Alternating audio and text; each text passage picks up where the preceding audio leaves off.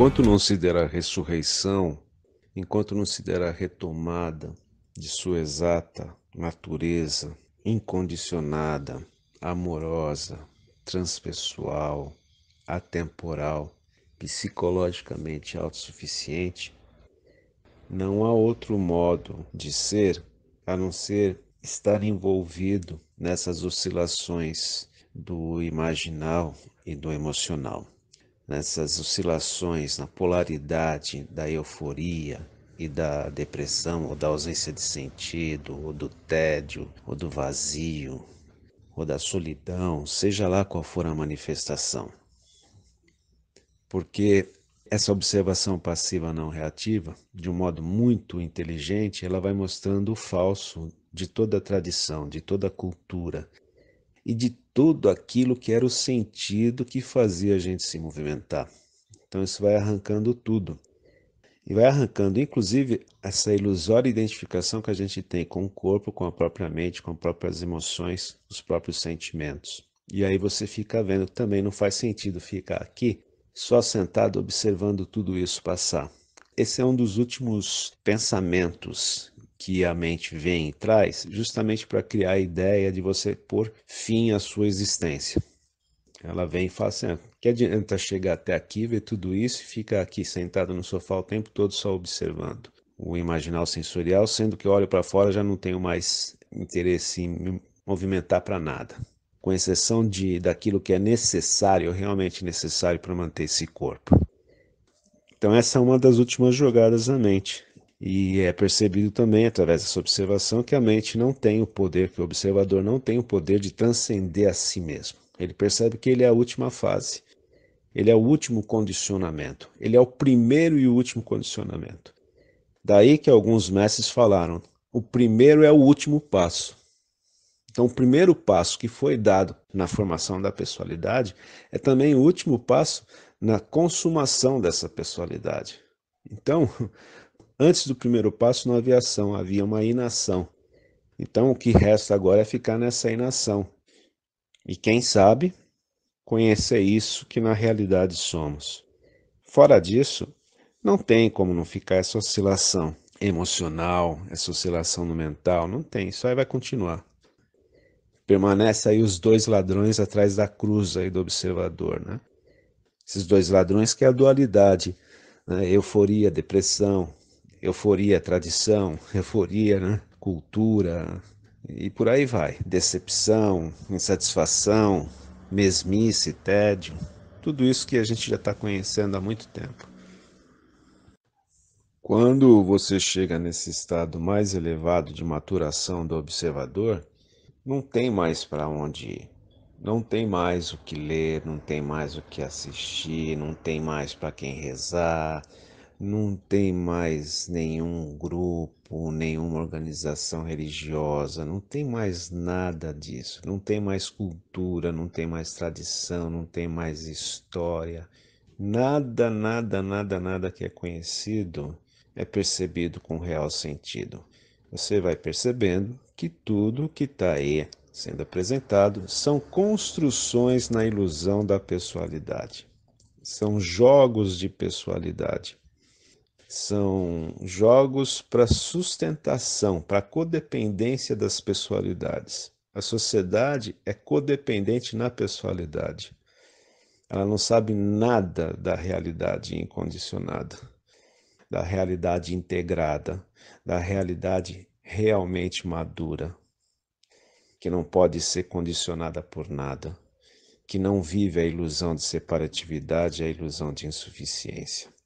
Então, quando chega aqui, o máximo que o observador pode fazer é ficar sentindo o que tiver que sentir, observar o que tiver que observar e não jogar nada disso nos demais que estão aí, 100% identificados com esse movimento da sociedade pessoal.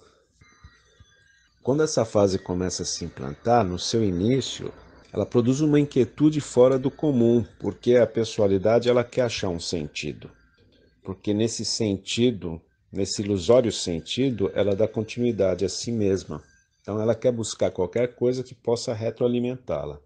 Então é muito natural nessa inquietude você não conseguir ficar parado. Você sai andando para cá, para lá, para cá, para lá. É isso que faz esses andarilhos na estrada aí. Eles foram tomados por essa inquietude, sai andando para cá e para lá, para ver se acha alguma coisa e nunca acha, né? Só vai se perdendo cada vez mais em sua exata natureza incondicionada. Né?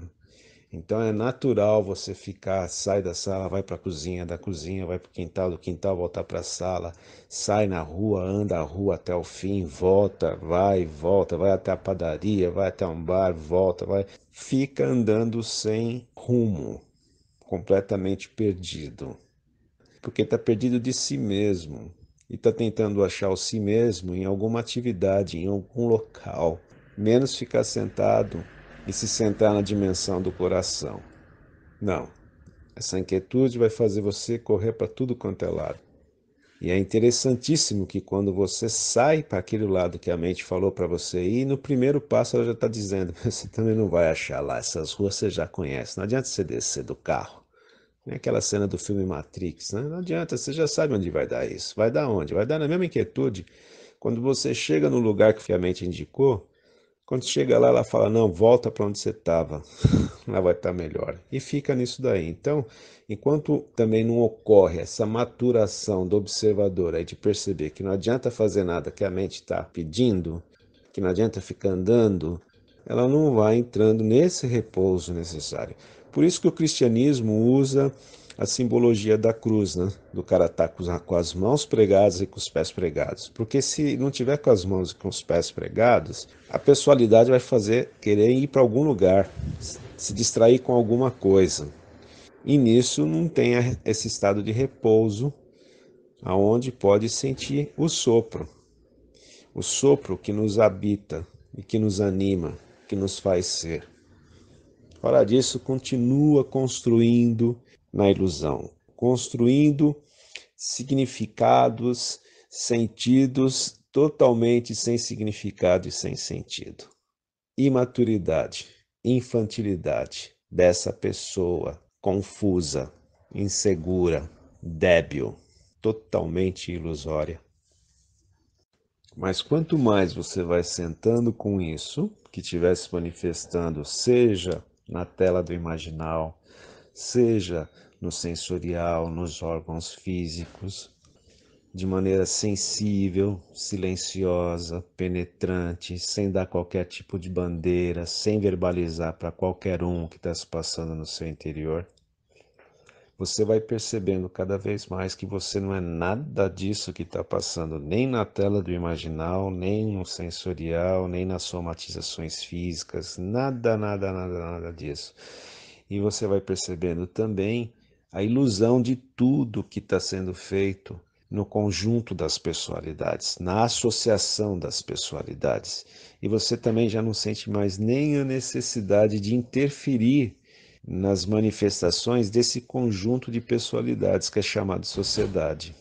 Você percebe que está tudo certo, você não precisa se meter, não precisa opinar nessas questões, né? Nada disso, só observar o jogo, só observar a imaturidade desses jogos. E você vai percebendo que realmente não faz sentido nenhum alimentar e nem lutar contra isso. Não, só observar, são, são jogos, são brincadeiras de criança. E que não faz sentido nenhum essas brincadeiras de criança quando você está entrando nessa maturidade.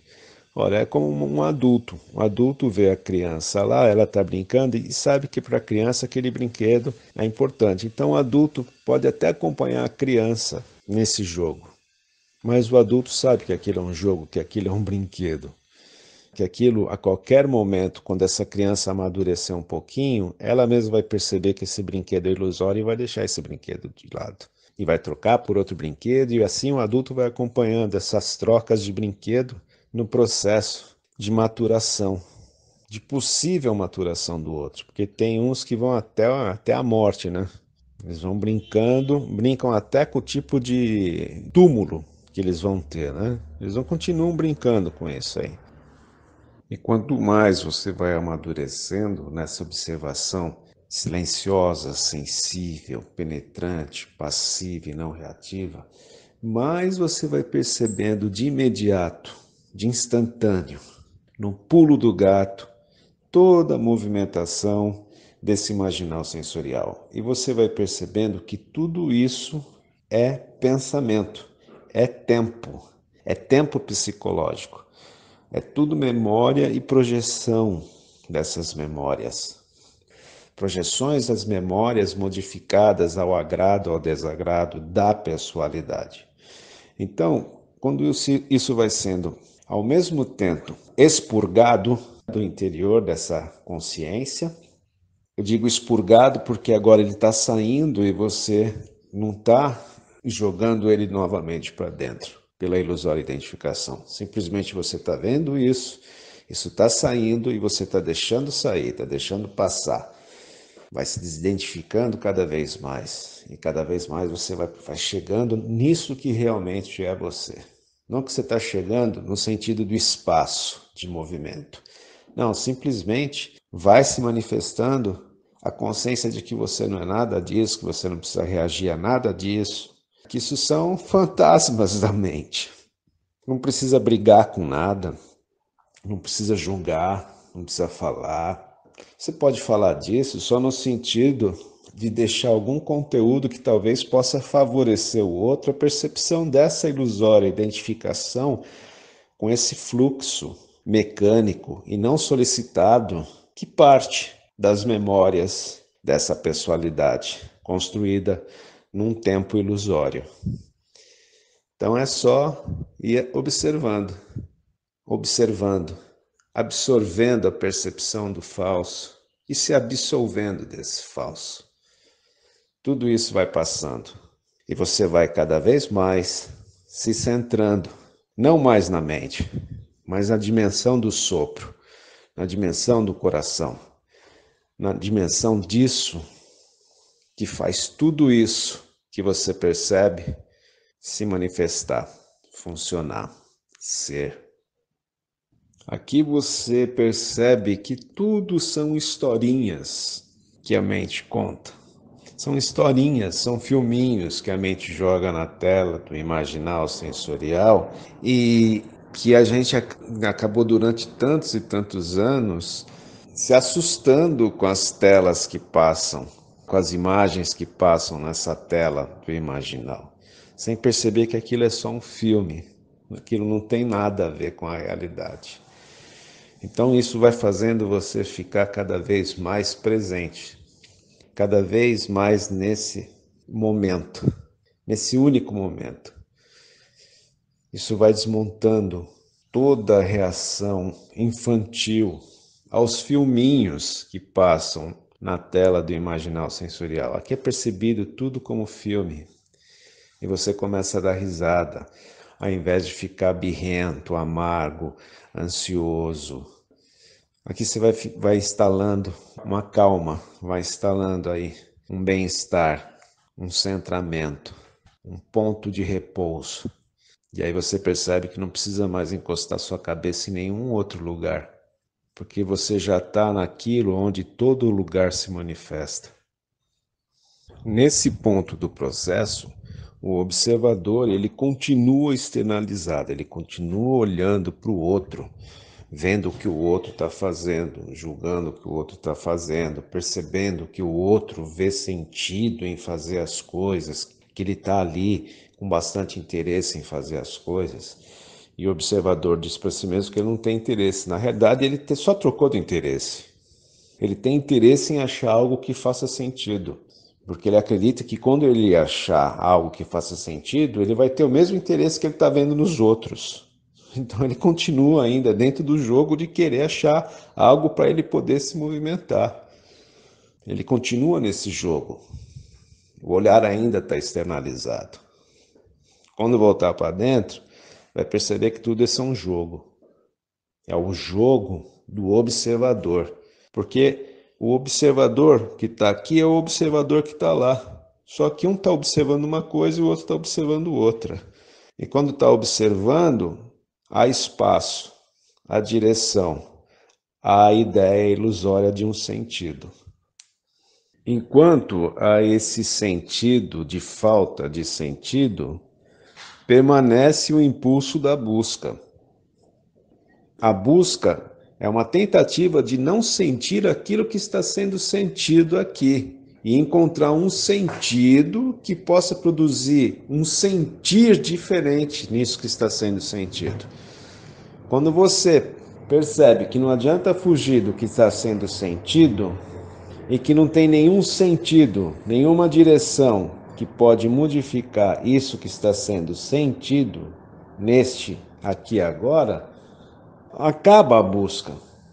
Some a busca. Some a necessidade de buscar. Some essa necessidade de sentido. A única coisa que fica é esse sentir. vamos sentir. E nesse sentir você vai percebendo que você não é nada do que está sendo sentido, que você não precisa reagir a nada do que está sendo sentido, que você está atrás desse sentir, que você está atrás desse observar, que você está atrás disso que está passando na mente, que você está atrás de todo essa, esse impulso de busca, de todo esse impulso de sentido. E aí vai entrando um centramento, vai entrando uma maturação, vai entrando um estado de ser completamente.